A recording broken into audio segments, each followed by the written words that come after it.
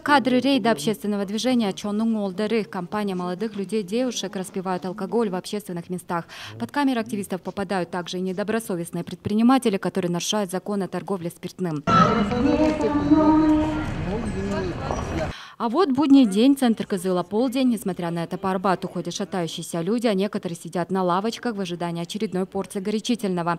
Сергей Мангуш, активист движения Чону Молдеры, говорит, что на улицах Кызыла и развлекательных заведениях все чаще можно увидеть в нетрезвом виде именно девушек. А, а проблема возникла из-за чего?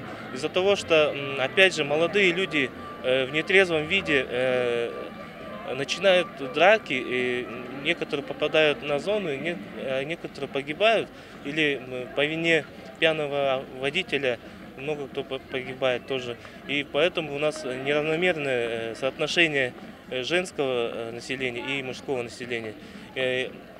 Из-за того, что нет у нас парней, женщины из-за одиночества начинают приобщаться к алкоголю. То есть э, с подружками собрались и начинают выпивать. А что, а что им делать, если э, семьи нет? Э?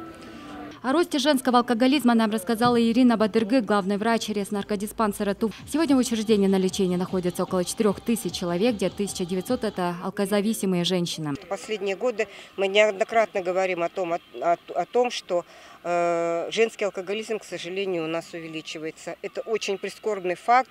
И в этом отношении мы стараемся все-таки э, в своих выездах в районы все-таки опираться уже на контингент более женского населения. Плотно работаем с органами опеки, социальными службами. В честь Дня трезвости в Национальном парке Тувы прошла открытая площадка. Здесь врачи регионального центра медпрофилактики, республиканского спеццентра и РЕС наркодиспансера давали консультации, советы и рекомендации по избавлению от зависимости.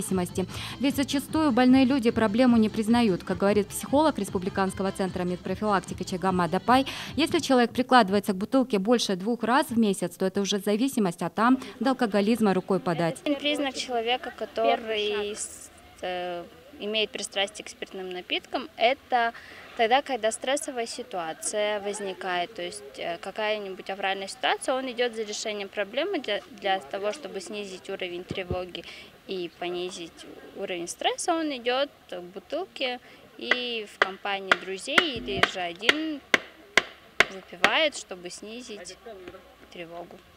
Потому что здоровье для человека самая главная ценность.